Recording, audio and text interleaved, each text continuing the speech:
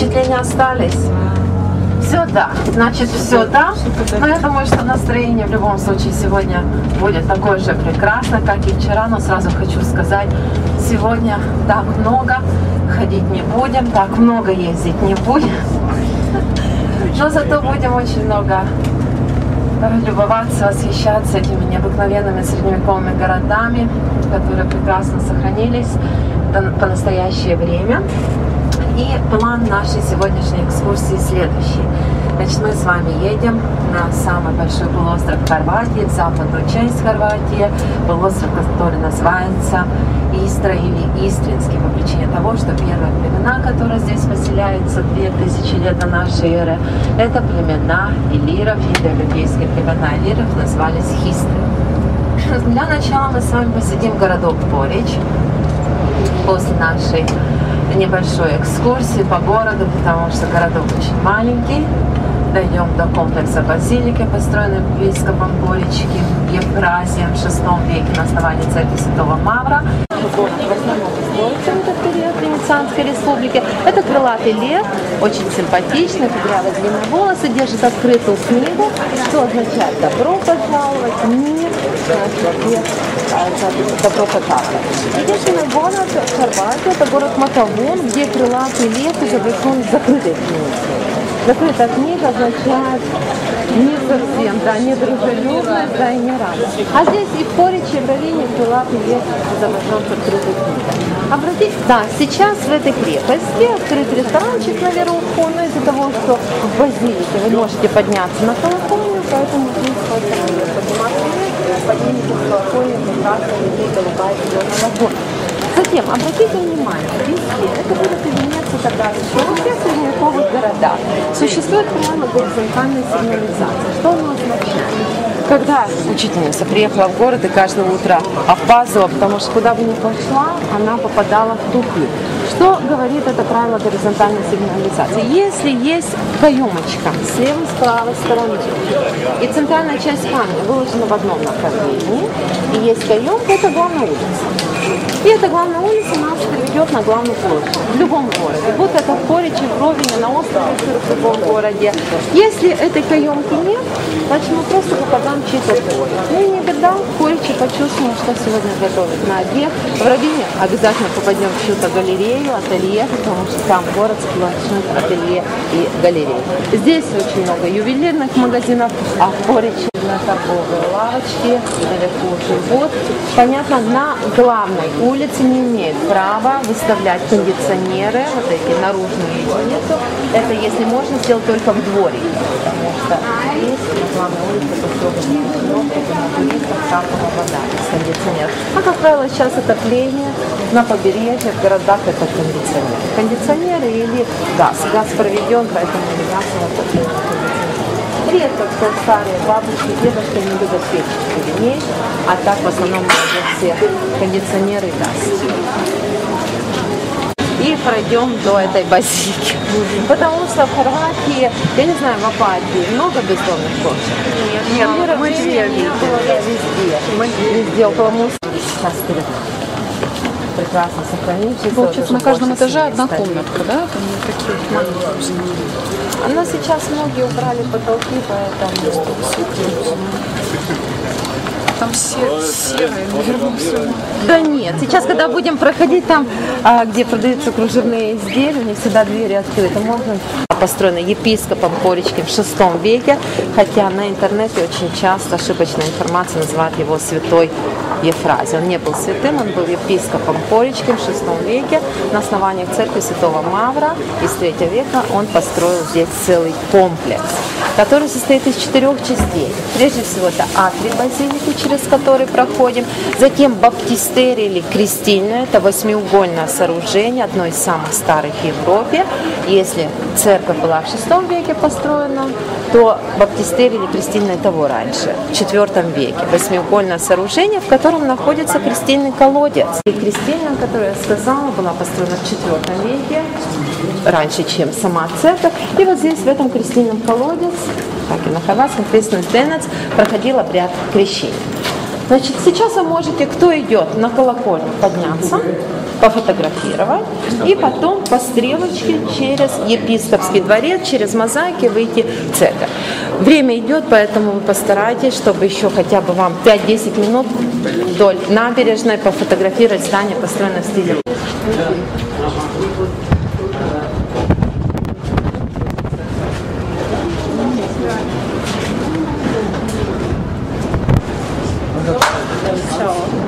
Хорошо, может тут остаться слушать. Можно здесь залезть?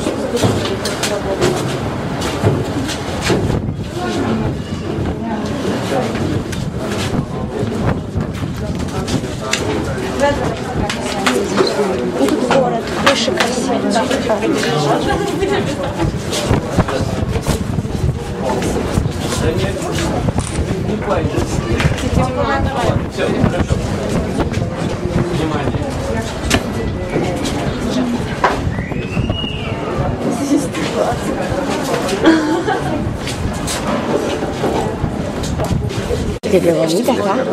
católico. Es pintada todo esa parte, ¿no? Qué bonito. No, no es pintado, son ¿No? mosaicos. Ah, los mosaicos chiquitos estos. Y si me siguen voy a enseñarles el suelo. Tenía también mosaicos. Vengan un ratito.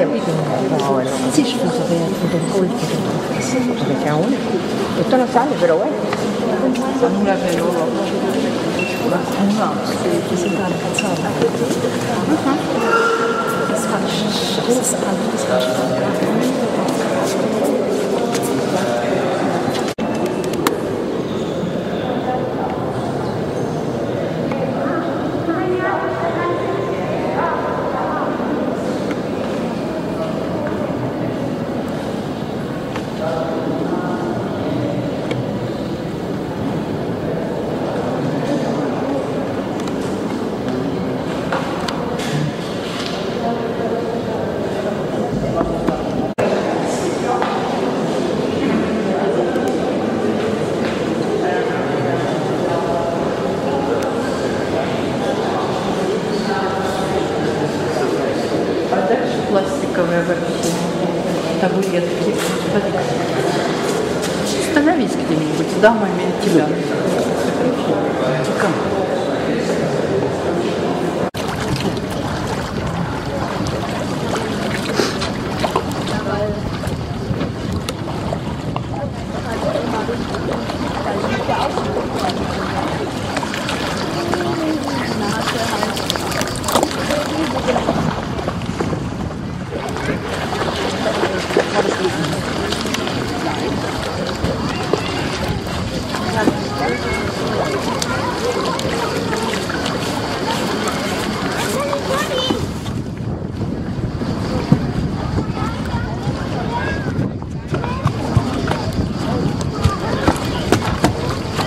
Сильная архитектура, вот если посмотреть на дома, они просто приклеен один к другому, окна все в разброс. Кто как заселялся, то так строил свою квартирку и окна.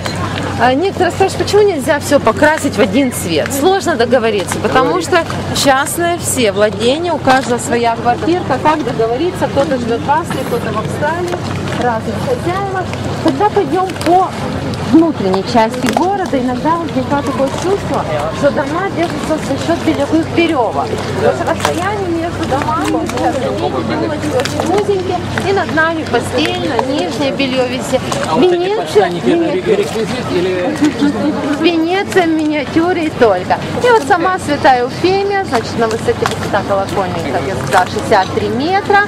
Сама Святая Уфемия показана с колесом, вращается, показано таким образом направление ветра. И кто пойдет на колокольню, вот балкончики, там всегда хороший ветер на этом балкончике, поэтому сразу нет, вход в самой церкви услужит. Нет, вспомните, э, кто был. Значит, нижний это цвет моря, верхний это цвет палящего солнца, в середине флаг, э, герб Хорватии, вот символ газы, это четвертый герб, где изображена газа. В центральной части это герб города Ромень, и с правой стороны это флаг итальянского э, государства. Градоначальник на хорватском это мэр. Град это город, а градоначальник это мэр города, поэтому здание имеет администрации. Такая же, такая же, такое же правило горизонтальной сигнализации тоже есть. Каемочка с левой, с правой стороны. И тоже это брутальный мрамор, по которому идем больше 500 лет. Больше 500 лет? Республики, Это да. что, именно оригинально, Это аутентично, да? оригинальный мрамор. То есть средневековая, да, вот еще осталось. Фантастика. А смотрите, какие здесь миниатюрные КАМАЗы есть. Убирают мусорные ящики, убирают. Да, как он помещается. Вот такой тоже может поместиться, потому что... Не, у нас тоже маленькие по аллейкам, только редко. Нет, ну у нас...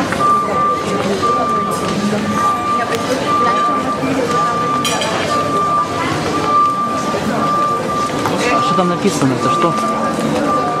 Это институт исторических исследований. Не знаю, по какой причине убрали отсюда лодку Батану. Это первые лодки, на которых рыбаки, в основном жители этого города, занимались рыбалкой. И первые лодки, которые мастерили, деревянные, с ровным дном. Некоторых, к сожалению, отправляют, зарабатывая на хлеб море в том, что не возвращались. Сейчас я не знаю, в какое место убрали эту лодку, но как в каждом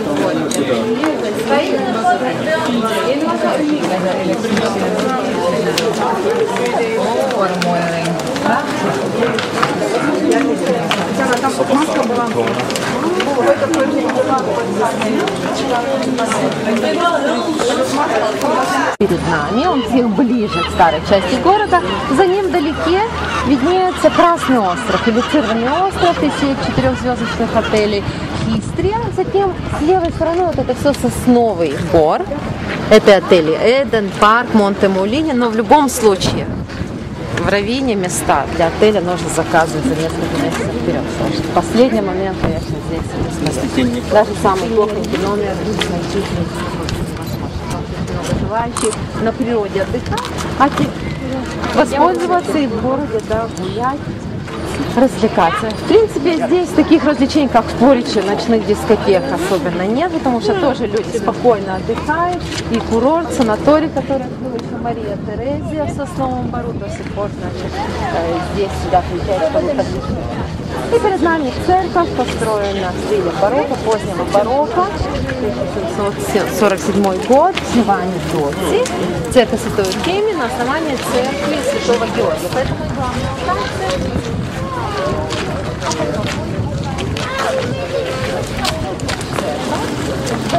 алтаря видите, как выглядел этот саркофаг, огромный, больше двух тонн, в котором находится нетленная мощь Святой Ефимии. Сейчас этот саркофаг открывает 16 сентября, это день города, день Святой Ефимии, поэтому здесь очень оживленно, везде музыка играет, много желающих.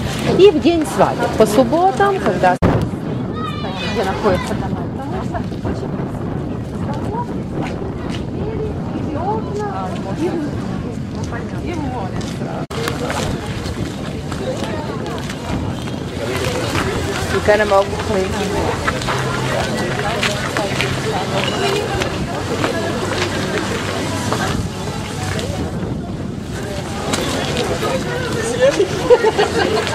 Oh,